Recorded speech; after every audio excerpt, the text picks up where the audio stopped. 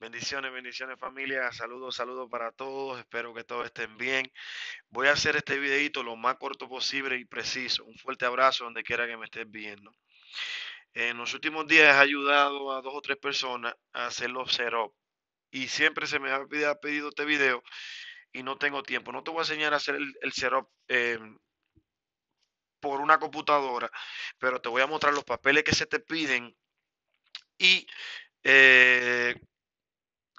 hacerlo, incluso de, un throw stop, de un throw stop. La persona que ayude es una persona que depende de una persona que lo despache, que depende de alguien que haga el,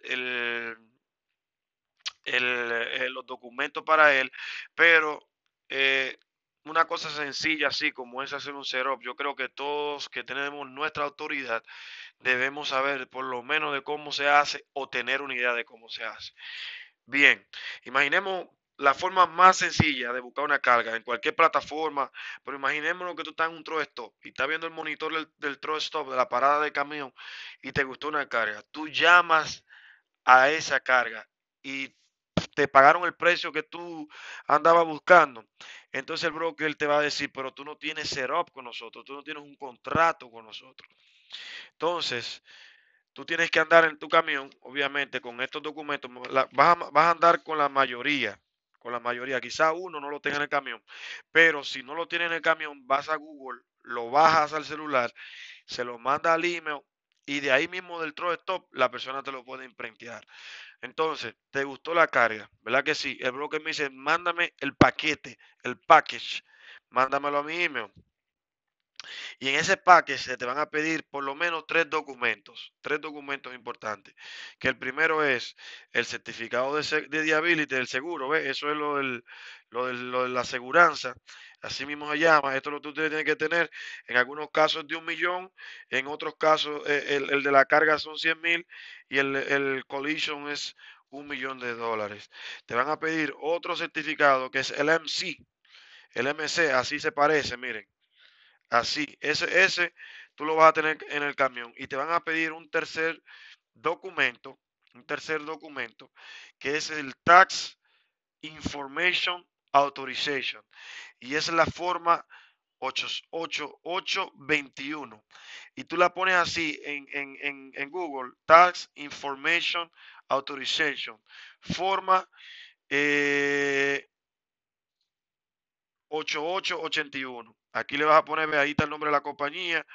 Aquí le va a poner la información de la compañía, número de teléfono, etcétera, etcétera. El tax ID nombre, el número de impuestos, como el seguro social de la, compañía va aquí y se va llenando todo, todo, todo. Aquí la firma, aquí en el dueño, el manager de la empresa, el, el título. Si eres tú, tú solo, todo esto es tu información aquí.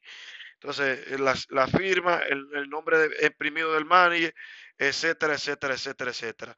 Aquí vas a poner, en nuestro caso, esta es la financiera que nosotros usamos. Esta es el factor de nosotros. Obviamente, si tú no quieres, en, en, nuestro caso, nosotros tenemos dos formas de esta llena. Tenemos esta, que es la que queremos cobrar vía el factor, y tenemos otra que es para cobrar vía QuiPay que no ponemos esta información aquí. No la ponemos.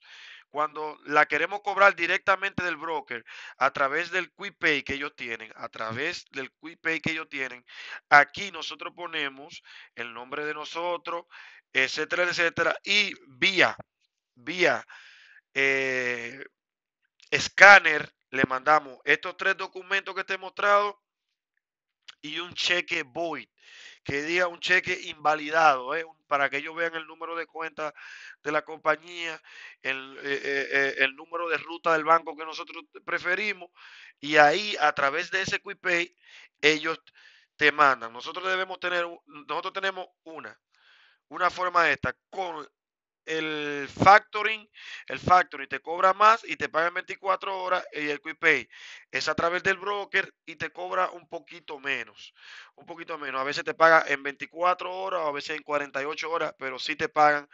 Ya la mayoría de los brokers tienen sistema de QuiPay. Si te puede ahorrar un poquito, ya como está la situación del negocio, pues es, e, es magnífico. Pero Pero nosotros tenemos dos fórmulas y esta fórmula nos dio trabajo porque no entendíamos al principio y la conseguimos a través de Google. Miren ahí es la 81, la pelón, la 8821. Forma 8821. Ya sabes, si aquí le pones tu información, ve, si aquí en, la casilla 2 le pones la información, tuya y le mandas un cheque voy, lo vas a cobrar directamente tú.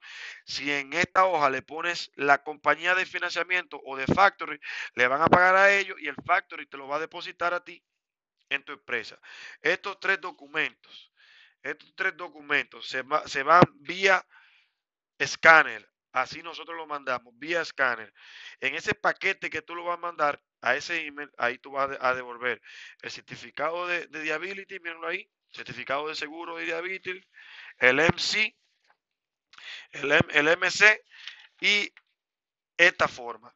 Entonces, en ese contrato va a venir una flechita siempre que tú se la vas a firmar, que tú le vas a firmar cumpliendo cumpliendo eh, todos los requisitos que exige ese broker, que tú no puedes pasarle esa carga a otro, etcétera, etcétera, etcétera, etcétera.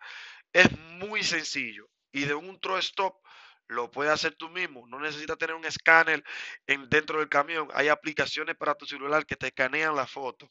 Por vía email puedes imprimir eh, cosas, eh, documentos en el Trust Stop. Entonces, cuando ya haces este documento, esta documentación, ese contrato con el broker, por todo un año no necesitas hacerla. Después, cuando tú hagas la segunda cara con ese broker, si está dentro de ese año que duran de vigencia los documentos, porque ellos te van a revisar, ¿por qué? Porque hay documentos que se expiran, como son el seguro, etcétera, etcétera. anual, ellos te van a hacer, hacer un nuevo contrato con ellos. Bendiciones y gracias. Nada, espero que te haya ayudado el contrato es simplemente para ellos revisar si estás al día con los documentos, si incumple con todos los requisitos y es válido por un año. Y ya sabes, si cobras QuickPay, manda un, un, un void check, un cheque inválido al mismo broker. Esa es una forma de cobrar. Y si no, lo hace a través del factory, a través de la hoja 8821, la forma de impuesto 8821. Bendiciones para ti y para los tuyos y gracias por el apoyo. Ya voy a grabar así, eh, eh, porque lo dejo para mañana, se me pasan y estoy ocupado. Bendiciones, se les quiere a todos.